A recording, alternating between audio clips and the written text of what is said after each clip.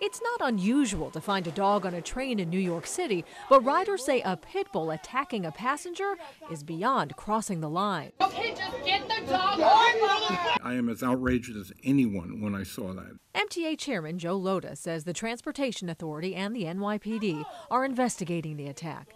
Passenger Taisi King recorded it with his phone. He says the pit bull went after the woman here in the red jacket as she was arguing with its owner about the dog sitting on the bench next to her. She's like, the dog don't belong on the seat. He's like, I'm not moving my dog. She pushes it. Um, what is this dog doing on the chair? He's jumping on her, but she moves back. And that's when he catches hold of her shoe and he was not letting it go. Chairman Lhota made no excuses when we asked how the dog got on the train. There's no reason in the world why that dog was allowed, one, on board, down to the platform, on the train, but let alone uh, harassing one of my passengers. MTA rules prohibit animals on mass transit unless they are enclosed in a container or are a licensed service animal, harnessed or leashed.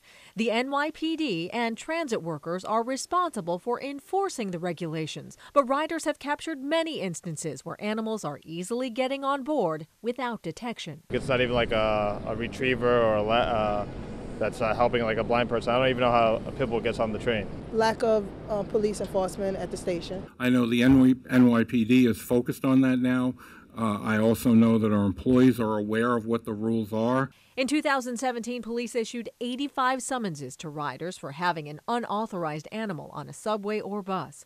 20 riders have been busted so far this year. The penalty? A $25 fine, which some might say isn't much of a deterrent.